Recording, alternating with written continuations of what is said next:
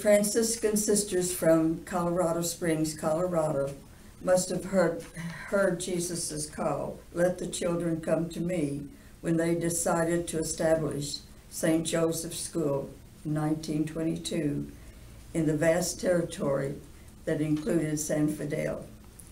The same call was heard in 1952 when the Ursulines came. Let the little children come to me.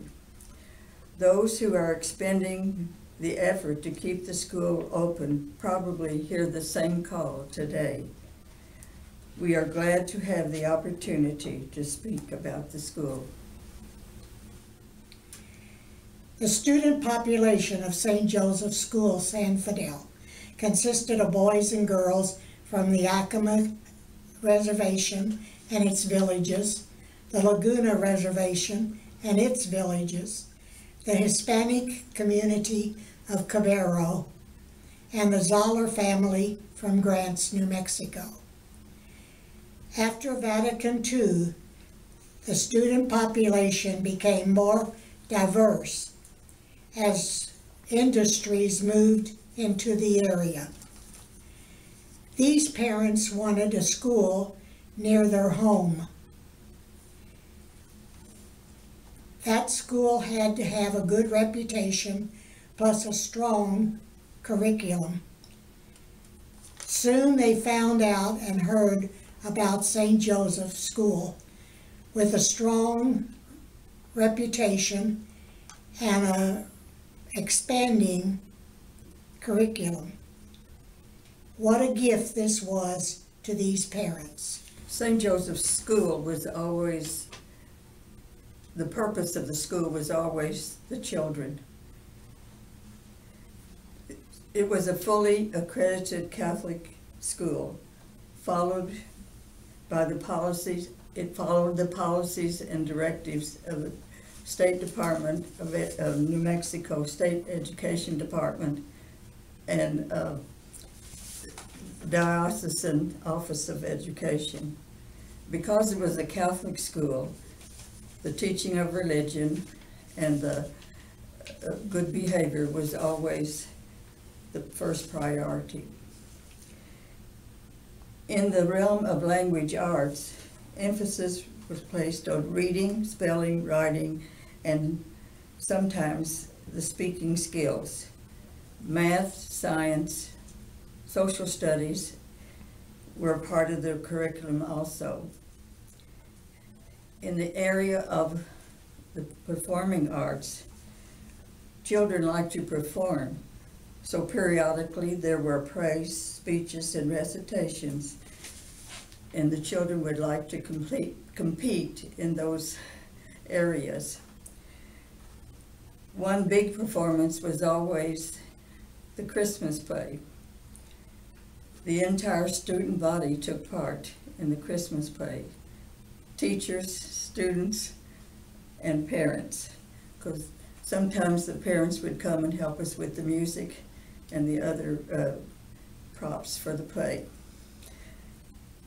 On the night of the big performance, there was always a feeling of anxiety, excitement, and laughter and fun. The students were anxious, the teachers were nervous, and the parents seated were smiling happily, hoping that, waiting for the big act to begin. The curriculum, as you, as, was quite varied with the ceaseless efforts of the, all involved. So we are so happy that, that we have the occasion to talk about St. Joseph's School.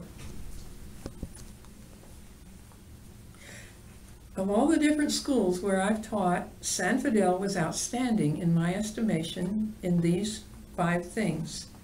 Number one, that the parents were very interested in how their children were learning.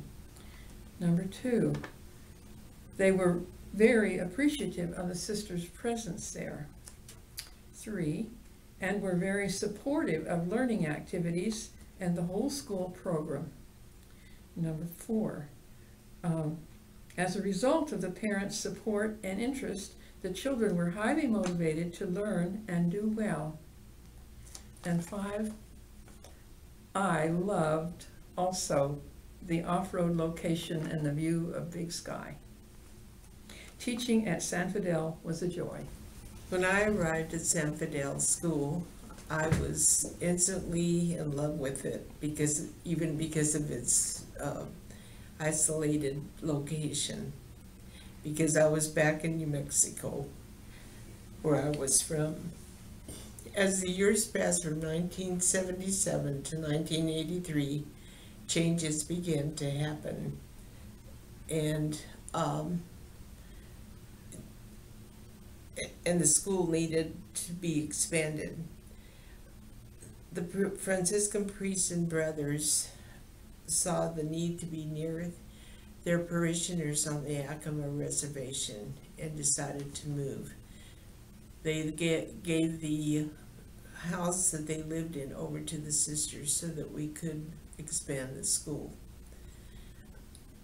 Uh, the priests and relatives helped the sisters to prepare for the move and um, and and ex- the expanding of the school.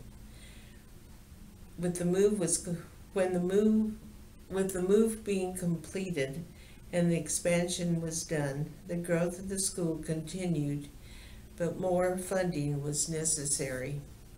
Field days, walkathons, seasonal dramas, the people's generosity, etc., helped the school to succeed and thrive. God and our Blessed Mother, with the parents and friends, continue to help the students to be successful and joyful. Beautiful and generous people, parents, and schools made my day a lot, my days alive and wonderful. My days alive, wonderful, and memorable at St. Joseph School, San Fidel. Hello, I served St. Joseph School from 1983 to 1989 as principal and part-time teacher. St. Joseph School was a faith-based school providing great educational experiences for students. The school was a melting pot of beautiful and unique cultures that painted a gorgeous mural of unity for all to see. There were a mixture of cultures, Acoma, Laguna, Navajo, Apache, Arapaho, Hispanics, and Caucasians, which added rich flavors to the school during my years. a kindergarten was established and muchly appreciated during my time, and the enrollment increased overall. The school competed in speech and spelling contests with other government schools in the area. Easily, we were the best. Coming home with all the top honors, including the all-around trophy for three or four years straight. Plays performed at Christmas time brought families and friends together, unifying the mixed cultures. The liturgies were uplifting and enhanced by addition of Native American Hispanic culture through dancing, music, language.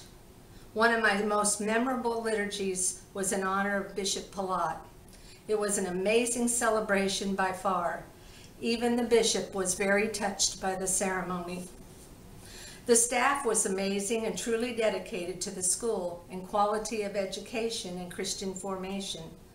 I had some of the best. Sisters Charles Marie, Mary Henry, Joseph Adrian, Cecilia Joseph, CJ, and Miss Rita Lopez. What an experienced group of teachers. Overall, I was enriched and proud to have served at St. Joseph School. I was especially thankful for the support of families and the PSA for their undying assistance with the school. We could not have done what we did best without their help. Thank you for allowing me to serve in your school. It was a perfectly wonderful adventure, one that I hold dear to my heart. God bless you all and Godspeed. I taught uh, sixth grade at uh, St. Joseph School from 1986 to 1991 and also did a bit of uh, guitar music for the uh, masses. I think I'm the last speaker, but I don't know that necessarily means they save the best till last. I know some questions were presented uh, to us for discussion, and I hope that the other sisters who have answered those questions. Um, we all congratulate you on the good work that you, you're doing, have done. I went to your website and uh, saw uh, how amazing um, everything is going there. Not only are you uh, instructing the students in the uh, basic uh, three R's of reading, writing, and arithmetic, but you're also uh, providing a foundation in such values as the culture, environment, and service. And of course, undergirding, supporting all of this and permeating and uh, really surrounding all of this are the gospel values from the Catholic uh, tradition, Catholic uh, faith. Um, and um, there wouldn't be any point in having a Catholic school if you didn't do that, uh, support the uh, Catholic uh, gospel values. And I liked how you blend the native traditions with the Catholic practices. Um, I think it was uh, Principal Trujillo who said you do a lot of praying, and that's about the best support that you can have, and and the the best uh, education and and uh, learning that you can have to become uh, productive citizens and uh, people of integrity. So, uh, good luck on your fundraiser. We pray for its success.